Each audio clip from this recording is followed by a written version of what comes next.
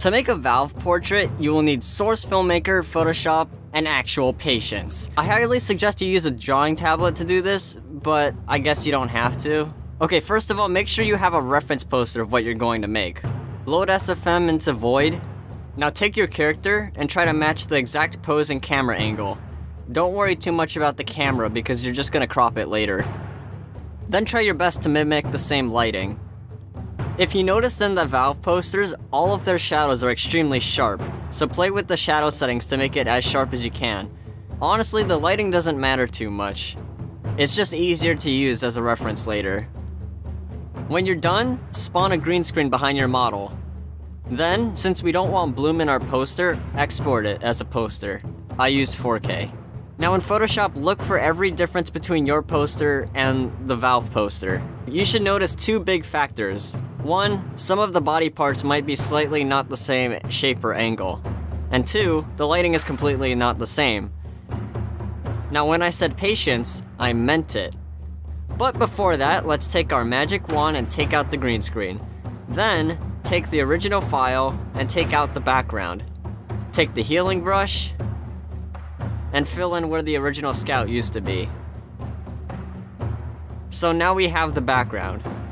Then go back to the scout and use the liquify tool to fix as much as you can, being very careful not to mess up. I recommend making duplicate layers so you can always come back later if you make a mistake. Then, when you're done with that, it's time to fix some of the solid details. In this case, it's the eyes not being far enough to the side.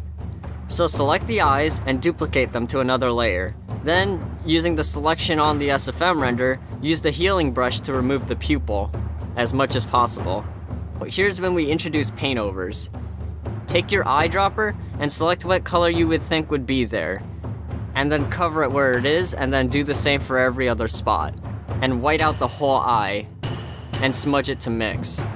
Be careful not to make it look like it's smudged, or you'll lose the valve look. Just make sure you mix it.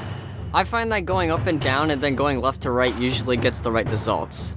Then, move your eyes to where you want them to go, and then erase the parts where the lids would cover. And that's it. Now for the hard part.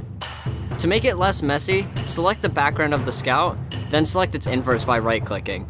Make a new layer, and take each different shade of your reference with the eyedropper tool, and brush it where it is to your equivalent.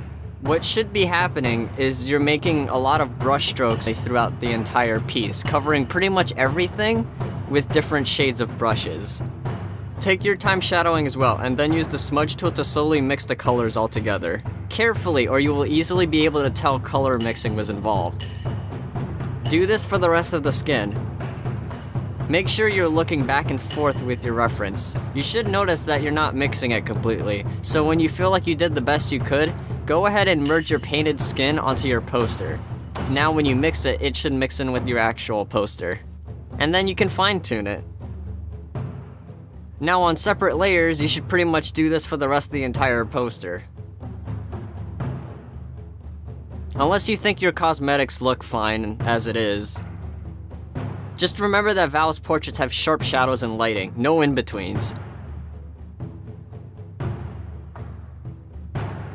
If you notice, for instance, that there is a glares of light on the nose or dog chain, you can take a weak light brush and in the area use a blur to spread it accordingly.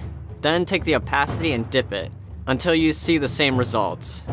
Now you can merge your poster into the background, then crop it to match the exact angles put a white background, Control T holding the shift, scale it down, move it to the same area as it is in your reference. Then I like to get a warm sepia-like color. Fill the screen with the paint bucket and dip its opacity so it's barely noticeable. I like to do this because I feel like it brings the atmosphere all together, even if it's only on 12%. Then merge all that again, open a new layer, and take a brush with one sizing, then copy the old-timey feels with scratches and little pieces of white. It may look better or worse when dipping the opacity. I think that's up to you though. Then when done with that as well, go ahead and merge. Go to filters, noise, add noise. Don't put too much or it'll lose its look. But just enough to simulate the amount of grain in the original Valve poster. and you're done. I realize that this tutorial may not be easy to follow for people who are new to Photoshop, but maybe you guys can at least take a little bit of knowledge off from this. Also, thanks for 800 subs. 1000's coming up, and I'm probably gonna do something big about that, but we'll get there when we get there. Hopefully, it'll happen somewhat soon, because I'm pretty excited for that. Anyway, hope you guys learned for something. See you later.